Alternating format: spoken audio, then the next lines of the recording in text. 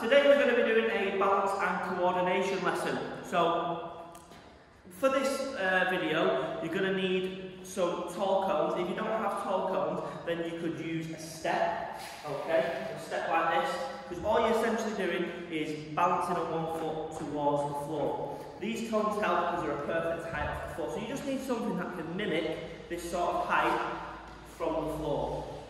Alright, you're going to need a book, preferably one with a hard case, and you're going to need a small ball. A small ball can be a tennis ball, a bouncy ball, it could be a ping pong ball, and a ball. And they're the two things, the main things that you'll need. Also, as we progress through the lesson, you will also need a towel. Now, it can be a tea towel or it can be a bath towel. You just fold it up to make a nice little square. So when we progress to that part of the video, you'll be able to see the sort of shape that we need. Okay?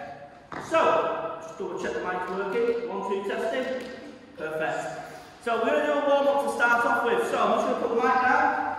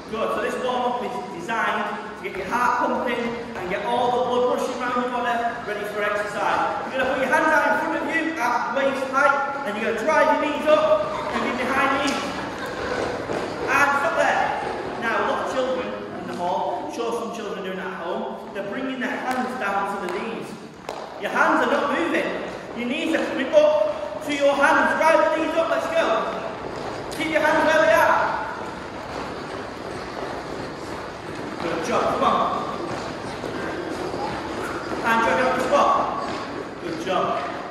Well done. Keep going at home, you're doing an excellent job. Now we're just going to do jumping jacks. Touch your hand above your head. Make sure you touch your hand. Well done. Good job. Keep going. Jump it on the spot. Good job. You should start feeling yourself getting a little bit breathless. Start to raise your heartbeat. This time we're going to do something called a split lunge. So, make sure you can see me on the video at home. Your feet are going to be together. You're going to jump, one leg in front of the other. So if I go left to right first, left in front, right behind, and then come back to the middle, and then I go right in front, left behind. So I'm always coming back to the centre, so watch me. I'm going to go split, centre, split, centre, split, centre, so we should be doing like this. Well done. We're not doing this. We're always meeting back in the middle. So left in front of right, together, right in front of left. And we're alternating the foot in front. Good job. Make sure we're going. Feet always meeting in the centre, get nice and close together. Good job you guys here. Welcome to you at home, keep going. We're now going to put our hands here together, feet together. We're going to jump out, bring our hands out, and then in. We're not clapping, out and in. Heels are not touching the floor. As you bring your hands come in, hands go out as your feet go out. Good job, everybody. Kind of like a star jump. So we're going to stop, and stop there. We're now going to put the split lunge and a jump in and out into a move called speed and agility. So this one is quite difficult. So for you guys at home, you guys at home, don't do it until you see me do it first. And just wait there. Feet start together, okay? Nobody try it just yet. You jump, one leg in front of the other, you then bring them back, you then go opposite leg, you then bring it back to the middle, you then jump out twice. So it's forward, middle, forward, middle, out, out. One, two, out, out. Okay, this is called speed and agility. So again, back, out, out. One, two, out, out. One, two, out, out. One, two, out, out. One, two, out, out. Keep going. One, two, out, out. One, two, out, out. Just jog on the spot. Just jog on the spot. And stop there. Now, you guys at home, if you manage to do the speed and agility really well, make sure I get some videos sent over to me. Okay? For those children one age, I want to see those videos so we can put them on our social media. It's not easy, it looks easy, but that speed and agility eh, is quite difficult. With the children in front of me now, year threes, quite a lot of them found that difficult. There's a lot of coordination involved. So for those who got it right, superb. For those who struggled, go back and try and make sure you get it right. It's just feet together, apart, together, apart, together, and out, out. All right? Get yourself a drink. Hopefully now everybody's blood's pumping after the warm-up. We're going to move on to our first bit of balancing. So, like I said before, you're going to need something that is roughly the height of this cone. It could even be a sat at the bottom. Now you don't want the teddy to be this tall. It has to be about this sort of distance from the floor to make this exercise worthwhile. So all you're going to do is you're going to plant, first of all, you're going to your left foot, so I just show you, not directly next to the cone, okay? Slightly further back, not directly behind. So I'm going to have it just to, the cone should be just to the right of me. So if my feet are together now, it should just be in front of my right foot. Okay? And all you're going to do is show you from this angle. I'm going to start with my right knee up in line with my hips, so my knees nice and hard. I'm going to keep that balance. Now when you are on one leg, you're obviously asking a lot of your body to stay balanced. The further away your knee is from your body, the more you will lose balance. So keep it nice in line, nice and tight. So all you're going to do, start with your knee up. You're going to go down, bringing your leg back. You're going to touch the top of the cone, and you're going to drive your knee back up. That's one. Watch me. Two. And you're going to do that 10 times. Now, here is the challenge. I just want you to do it as many times as you can without losing balance. So if you get to four, and then you lose balance, you know that we did four in a row without losing balance. You don't start again, you carry on from five, but you just see how many times you can do it without making a mistake. Now obviously the best you can do is doing all 10 without losing your balance. So we're all going to go right leg first. So the left leg is the planting leg, that leg is not coming off the floor. Alright, we're going to go from here and down. So everybody at home, get yourself ready. Making sure nothing is behind you. If you do this too close to the TV, you don't want to be kicking the TV. So make sure that there is nothing directly behind you. So, everybody in the hall, are you ready? Yeah. Get it, get it, get it! Yeah. Everybody at home, everybody in the hall, get your knee up first. Right knee, right knee, not your left knee, right knee first. I'm going to go down at my pace, off we go. Cone. Drive up, that's one. You guys count your own in your head. Two. Three. Four. Max, count in your head, please. Five.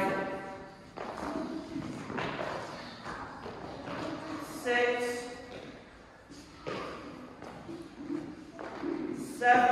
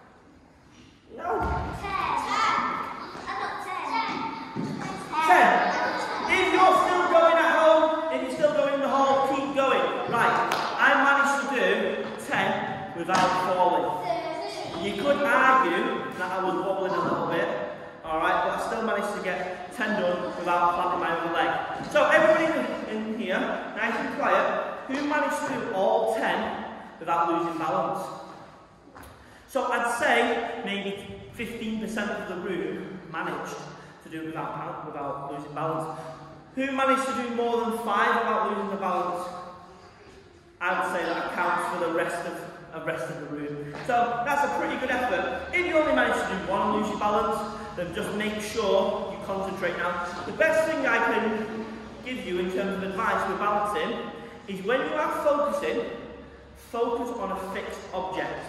So if I was doing this now, facing the children in front of me, and a child started to wobble, it would then in turn make me wobble. If you've got something on the TV and it keeps changing scene, that will cause you to wobble. So what I like to do is I like to focus on something that's fixed, something that's not moving. So you might have a poster on the wall, you might have a family picture, you might have something directly in front of you that you can look at. If you focus your energy on that, it will help you to not lose your balance.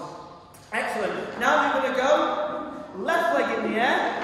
Your left leg is going to go back. You're going to touch the cone with your left hand and drive your left knee up to make one. I'm going to do the same again. We are going to do 10. All right, so get yourself ready. You start off with your left knee in the air. Everybody go with me.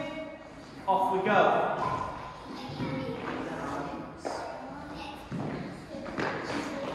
One. one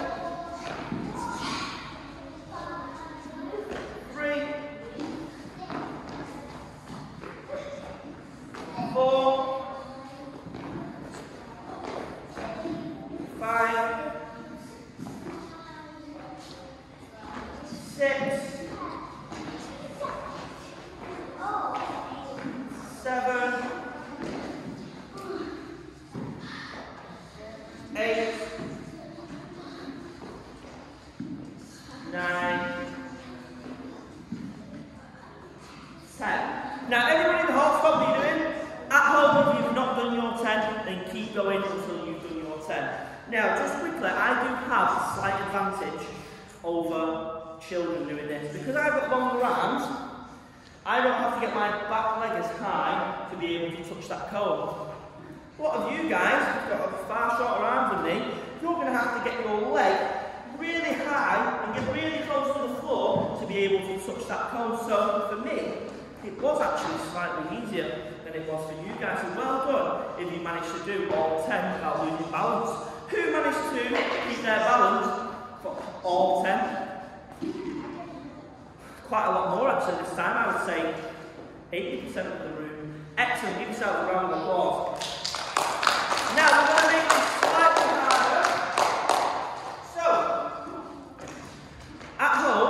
If you've got a disco, this is perfect for this little game. Alright, if you haven't got a cone, then I just want you to find an object that you can place on top of the object that you have on the floor. So if it's a tenner, and you've got a little hat for that tenner, you can keep placing the hat on top of the tenner. You might have some electrical tape, which is quite a small circular object. You can place that on top of it. Okay, you can place any object if you're doing it on the steps you can place the TV remote down. All that you are trying to replicate is the same thing, but we're going to do five on each leg. So we're going to start with the cone. So you guys here, make sure you're watching. You guys, I want to make sure you're watching before you start this. Okay, nice and quiet.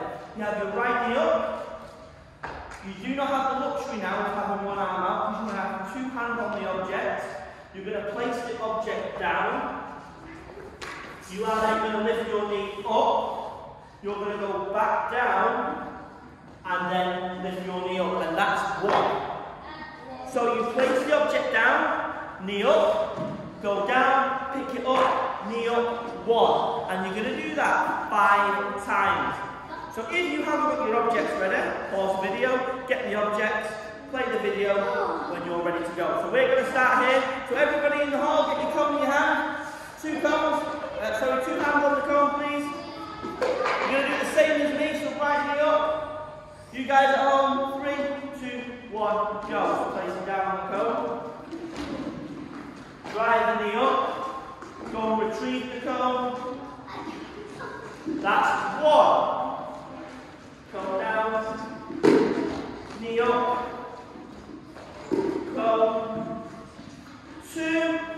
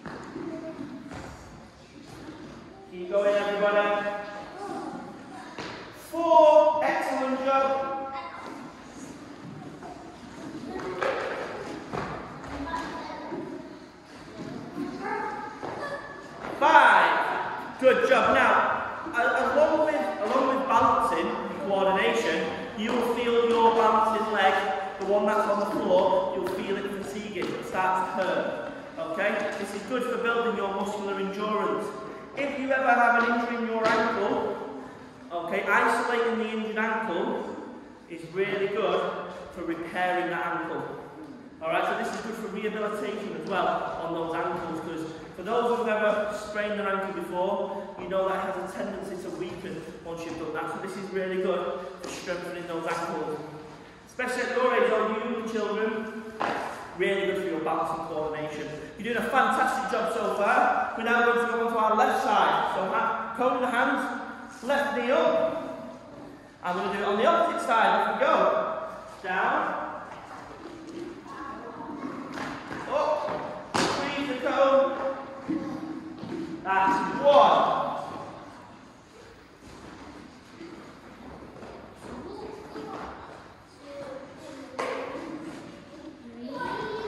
That's two. Keep going, Melbourne. That's three. Nearly went there. Keep focused. Four. Last one. Keep your balance. Keep your focus. Five and stop there. Give yourself a big, big clap. Well done, you guys at home. Get yourself a drink, pause the video, and play when you're ready to move on. Well done, everybody at home. Doing a fantastic job so far. What I need you to do now is grab yourself a book. Now, I want hard case on your book, alright? So make sure it's a nice hard copy. And all we're going to do with our book is you're going to hold it in your strong hand and you're going to hold your arm nice and straight. So I don't want it down here, I don't want it up here, I want it straight from your shoulder. And all you're going to do, in the space that you have, I just want you to walk around holding your book in front of you. And we're just working on balancing that book in one hand. Now obviously the smaller the book, the harder it is. So to make sure that you have got full coverage on the book, make sure you spread your fingers out as far as you can and hold the book in front of you. You will feel it in your shoulders, alright, because even holding your arm up like this eventually burns your shoulders. And we're just going to walk around with the book out in front.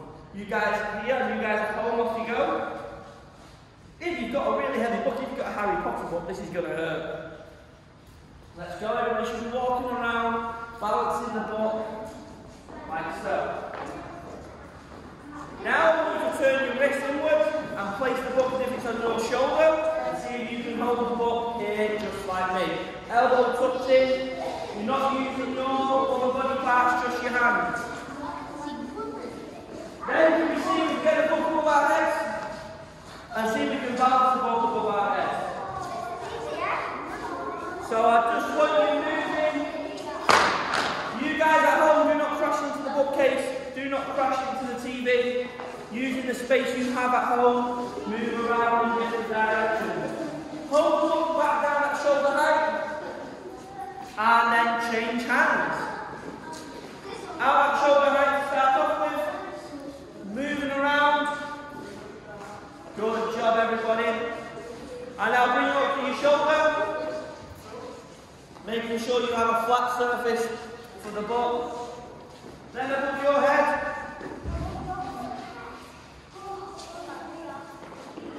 And stop there. Now you guys here, we're just going to continue doing that when I say go. You guys at home, what I want you to do is, if you have a tether, or the object that you just used, I want you to now place it on top of the book. Because if you do not hold, do not hold your book flat, the object is going to come off. So now, I want you to place an object on top of that book and see if you can walk around keeping that object on. You guys here, just want you to continue doing what you're doing. Off we go.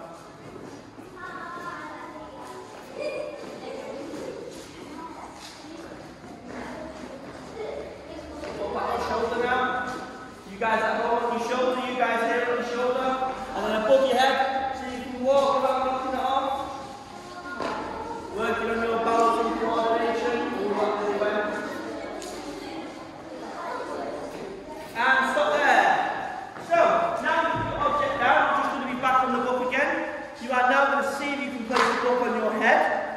Now, before you guys do it here, all right, keep your book still. So put the book in your hand. You guys at home, just make sure you're listening first. When the book is on your head, do not look at the floor. If you look at the floor, the book's going to slide off. If you look at the ceiling, the book's going to slide off behind you. You have to try and keep your eyesight looking forward. So now, knowing the objects around you, you're going to try and walk around your front room or your garden without knocking anything over. If it's too easy, then you can place some tennis, some cushions. I'm just going to use a couple of cones.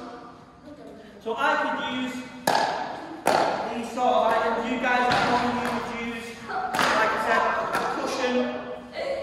You could use teddy bears. If it's too easy, place the book on your head. And I want you to walk around without it falling off and making sure you don't touch any objects on the floor. Off we go.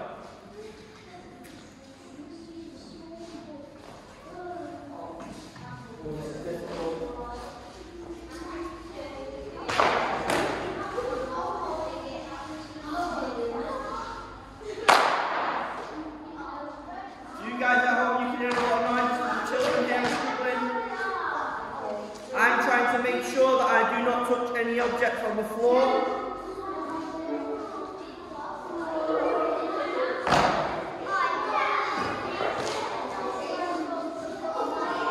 Keep going.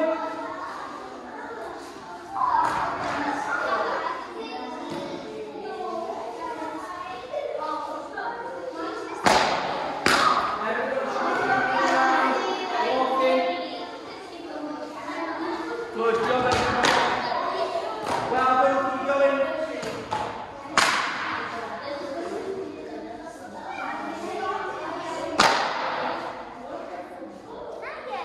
And freeze! Well done. Everybody at home, get yourself a cup of drink. You're going to need your book, but now you're going to need your tennis ball, your ping pong ball, or your bouncy ball.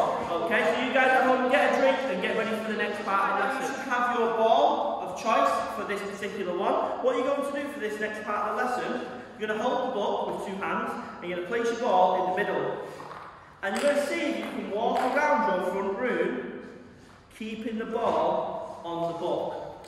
Alright? So everybody in here now, put your ball in the book, hold it in two hands, and see if you can walk around in and out of each other without the ball falling off. Get it? Off you go. You guys at home, walk around your front room, trying to keep the ball, have a look, on my book. Year three, if your ball comes over into my area, you're not allowed in this zone, so make sure that you wait for me, and I will just give you your ball back. Well done. Who can see they can bounce it without it falling off?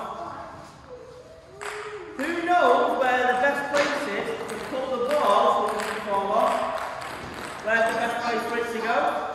Well done, Jack. It is the centre. You want the ball to be in the centre of the book. The bigger the book, the easier it is. So my book's quite large, it's quite easy for me to keep it in the middle.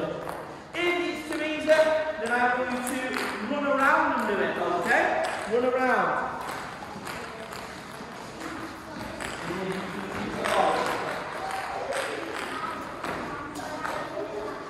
Run around with it on.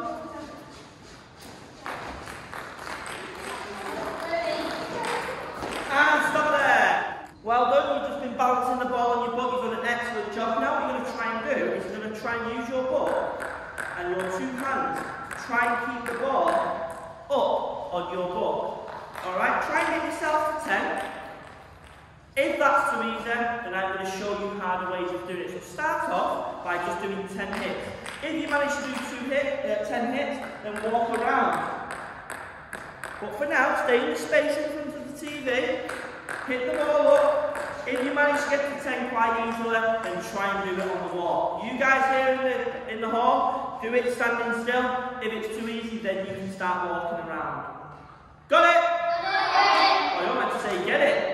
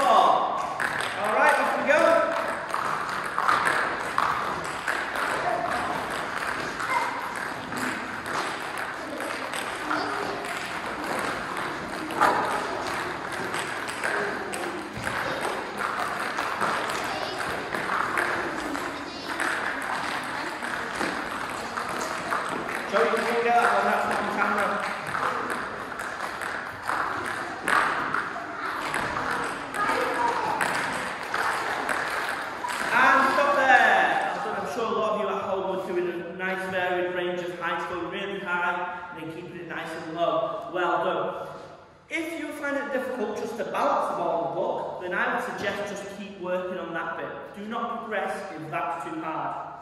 So every time it gets too hard for you, I'm not asking you to quit. Go back to the previous suggestion, give that one a try until you master it. Once you master it, then you can then look at moving on to the next one. So if you were controlling the ball in different heights, now it's time to try a harder one. You guys at home, do not try the harder one if you found the last one too hard. So if you were struggling to find the right height, going from high to low, then I want you to just keep doing that one. This one is if you found it easier. So now I'm hitting it up, I want you to try and use different body parts to keep the ball up. So I might go from here to my knee, and then back to the ball.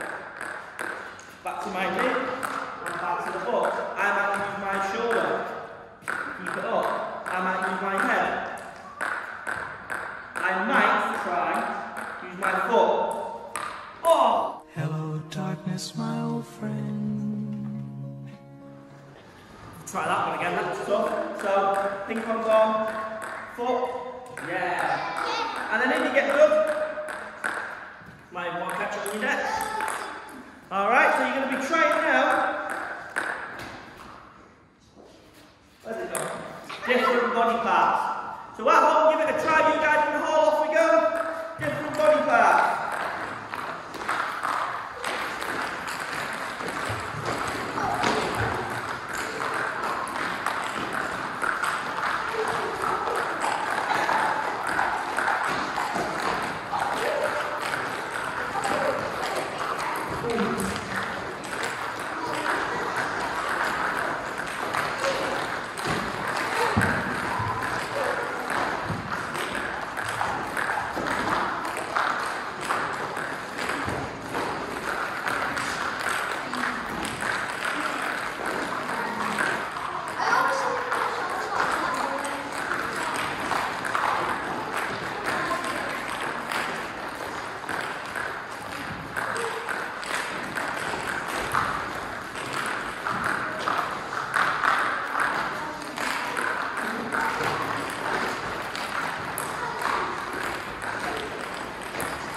And stop there. Keep your ball still. Freeze ball. Now, that was excellent. If you guys at home managed to do some really good sequencing, going from the book to your knee, to your foot, to your head, to your shoulder, make sure your parents get it on camera, send them to me so I can see all the cool different variations. And some of the best ones, if I'm allowed, I'll put them onto social media. Alright, so, well done, get yourself a drink and we'll move on to the last part of the lesson. Right guys, what about in the lesson so far? We're going to finish up now with some fast feet. So we're going to work on our coordination with some dynamic movement, fast feet. So for this, as I did mention that you need a towel. So it could be a tea towel, it could be a bath towel, it could be any towel you like. You fold it up so it goes into some form of rather square or rectangle. And it's got to be about this shape. And you place it on the floor in your living room. Alright? Now if you have got a wooden floor, then I wouldn't recommend a towel because when you step on it can be quite slippery. I'm not going to use a towel for several reasons. One, because it's quite slippery, and two, it's Mr. Brogan's favourite pink tea towel. And if I get this all full of mud, he'll be a bit upset with me, and I don't want to tell him. So I'm not going to use that. What I'm going to use instead are these four spots. So I'm going to put the four spots in a square.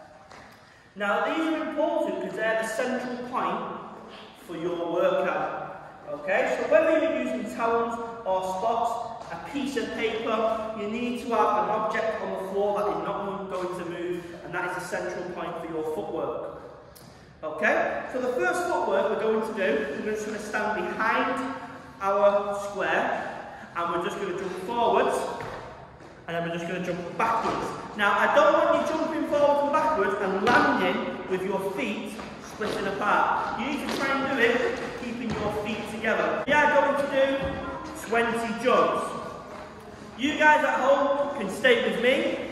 You can go slower or you can go quicker. Just making sure you're doing the right technique. If you jump in and your legs are all over the place, then it doesn't count. It has to be a clean jump. So just watch me. It would be one, two, three, four. Forwards and backwards.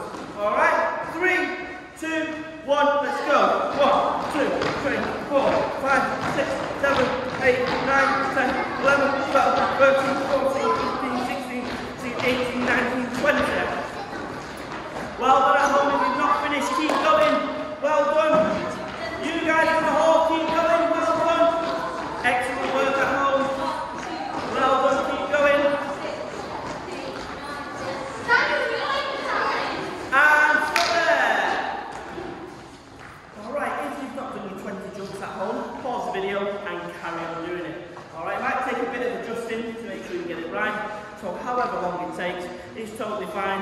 Just stop the video. Now the next thing we're going to do, we're going to go side to side. This mimics a specific skill, which we're going to finish off at the end.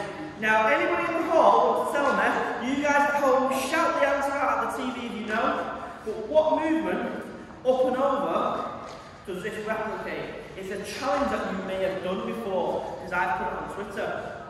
Yes, Joseph. Speed bounce, good boy. So speed bounce, so you're just going to go up and over, side to side. Now it's important when you do this that you use your arm. It's almost like you're skiing. Alright, so bring your arms up as you jump, back as you land. Up as you jump, back as you land. We're going to do 20 as quick as we can. Three, two, one, go. One, two, three, four, five, six, seven, eight, nine, ten, eleven, twelve, thirteen, fourteen, fifteen, sixteen, seventeen, eighteen, nineteen, twenty. Well done, you guys at home. Keep going. You guys at home, well done. Keep your feet together. If you jump and split your legs, does not count. Feet have got to stay together.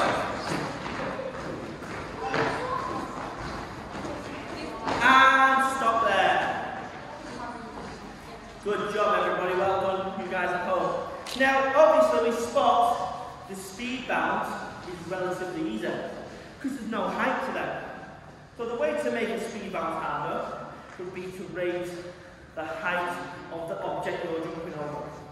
For the purpose of this drill, you obviously want it to be flat to the floor. So if you do want to challenge yourself on a speed bounce when you get outside, I'd recommend raising the height. But for this particular bit, we're just keeping it nice and flat. Next thing we're going to do, alright, we're going to start so our spots are on our right hand side. So now the spots are on my right hand side. I'm going to do two quick feet. So I'm going to go right, left on the spots, and then I'm going to go left foot up in the air. So it's right, left, right. Then when I jump back across, I'm going to go left, right, left. Right, left, right. Left, right, left.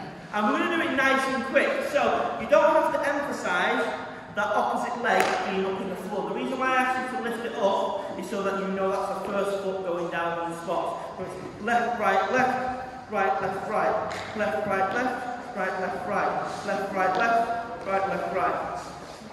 Alright, I'm going to go back and forth, not 20 times, 30 times. So just watch it again, it would be one, two, three, four, five, six, we're going all the way up to 30. You guys in the hall, get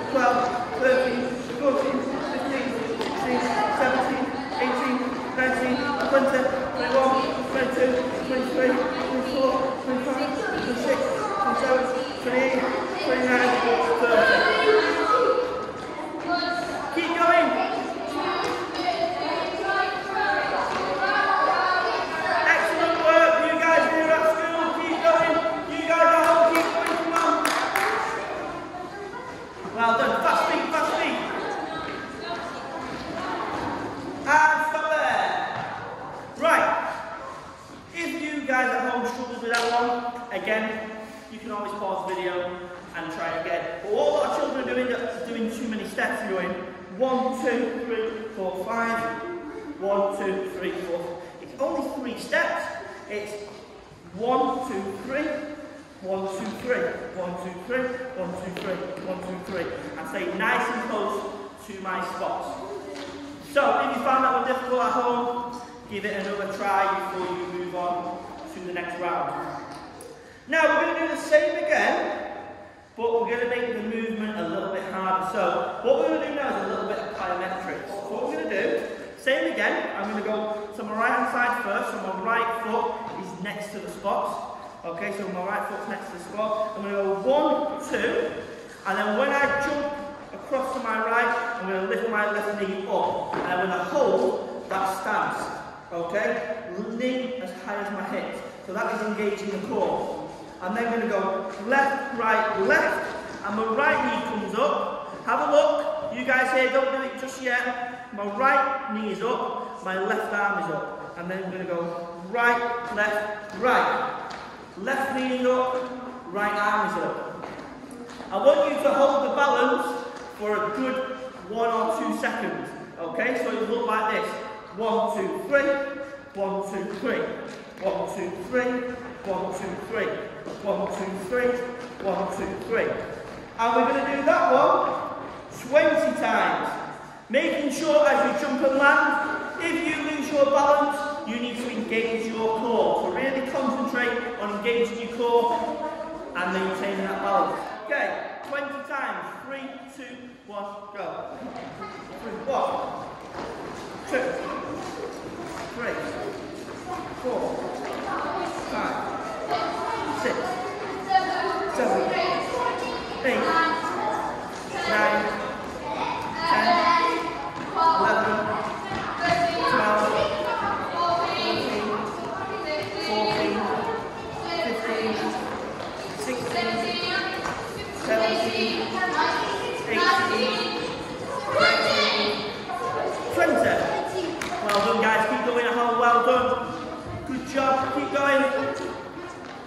Excellent. Once you've get yourself a drink. We're going to move on to the last couple. Now refuel, ready for the last bit. So we've done quite a bit of footwork now. We're going to do one more bit of footwork and then we're going to finish on a challenge. So the last bit of footwork we're going to do, we're going to stand behind our towel or our square or rectangle. You're going to jump forwards. You're then going to jump to the side of it. So I'm going to jump on a diagonal to my left. So I'm jumping backwards in a diagonal so the spots are on the right and then jumping across to the right hand side and then jumping behind back to the start. So I'm going over, back to the left, over to my right, back to my left. Okay, so it's one, two, three, four. One, two, three, four. Four jumps is one time round. You're going to do 20 times. Right, behind your spots. Three, two, one, go. One, two, three, four, five, six, seven, eight, nine, ten, eleven, twelve, thirteen, fourteen,